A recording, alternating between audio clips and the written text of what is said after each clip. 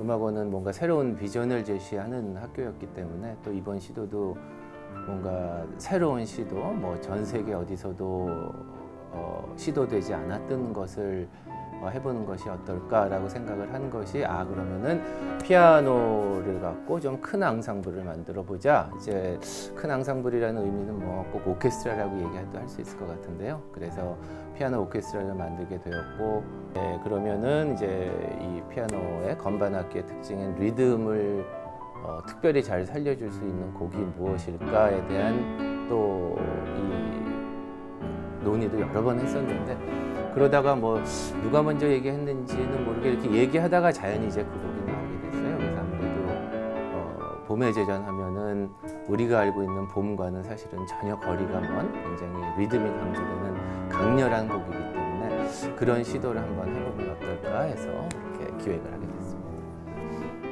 리허설을 참가하게 된 지가 며칠 안 됐지만 그 학생들이 보여준 에너지나 어, 그리고 이 곡을 우리가 많이 들어서 아는 어떤 그런 봄의 제전이라는 곡이 아니라 과연 우리가 어떻게 재해석하고 재창조해낸다는 그 기분이 함께 모아지는 걸 느꼈거든요.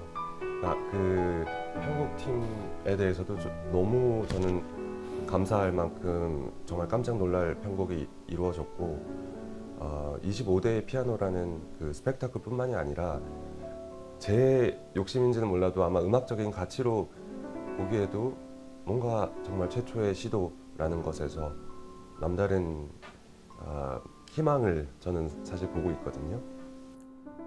이제 아이들 이제 피아노로만 하다 보니까 사실은 이제 음색에 관한 것은 조금 걱정이 되는 거는 사실이에요. 왜냐하면 이제 오케스트라를 하다 보면 다양한 악기가 있다 보니까는 음색이 좀 걱정이 되는데 근데 이제 우리가 이- 애초에 이거 만든 것도 어, 단순히 그냥 25주년을 기념하기 위한 음악회 뿐만이 아니라 거기에 뭔가 교육적인 면이 좀 첨가가 되면 좋겠다라고 생각을 했었거든요. 그러다 보니까 어제도 이렇게 왔다 갔다 하면서 들은 생각이 우리들 학생들 레슨 할 때 왜 오케스트라 악기를 상상을 해라 음색을 어, 상상을 하면서 연주해라 뭐 이제 그런 얘기 많이 하잖아요. 그러니까는 그런 면으로 봤을 때는 아이들이 그런 어떤 음색에 대한 음, 것을 좀 깨닫고 어, 실질적으로 어, 물론 같은 피아노로 연주를 하지만 여기는 뭐 베이스 클라리넷 소리다, 뭐 여기는 피콜로 소리다라는 그런 음색에 관한 것을 조금 이번에 좀 아이들이 느낄 수 있지 않을까 그런 또 교육적인 측면도 사실 있는 것 같습니다. 근데 처음 우려했던 거와 다르게 정말로 멋진 소리가 나고 야 정말 우리 잘해낼 수 있겠다 하는 확신이 들었어요. 그래서 학생들에게 너무너무 고맙고 그 네 그렇습니다. 네.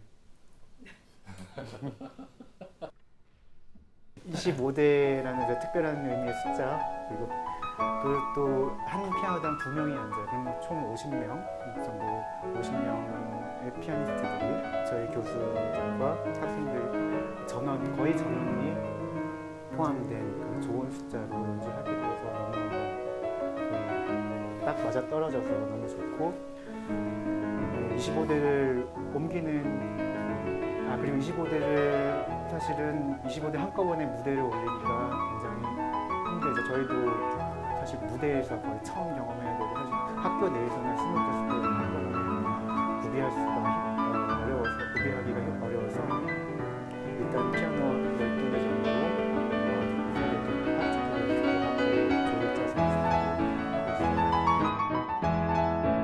어, 실질적인 그 연주 때 이제 쓰는 피아노는 어, 우리 학교에서 22대가 나가게 되고요. 이제 이 피아노도 당연히 나가게 되고 네, 이제 예술현당에 보유하고 있는 세대 그랜드 피아노가 있어가지고 네, 그렇게 해서 25대가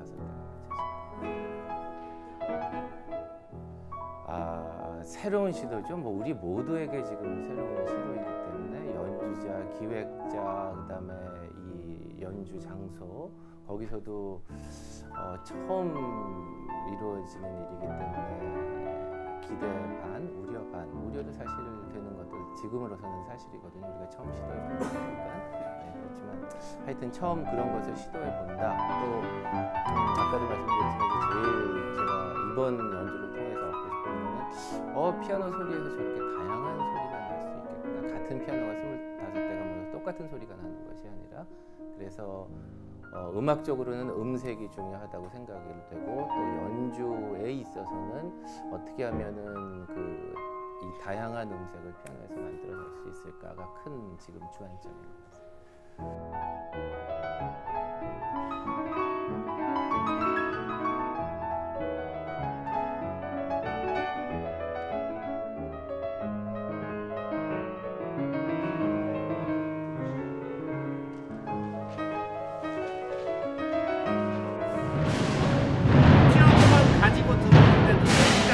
걸렸고요.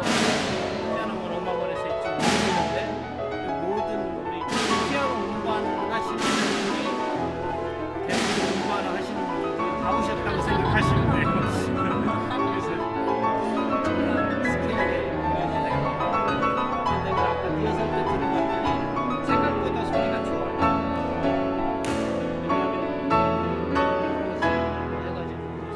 결정만 않았는데 그 연습한 흔적이 굉장히 많아요.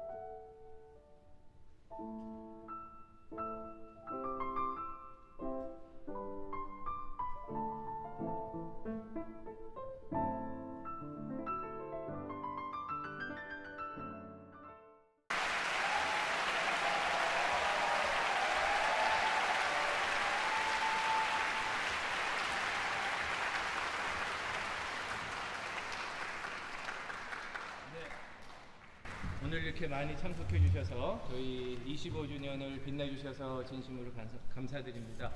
앞으로 더 열심히 해서 또 다른 새로운 25주년을 약속을 드리면서요. 마지막 앙콜곡 특별한 곡을 준비했습니다. 교가를 하겠습니다.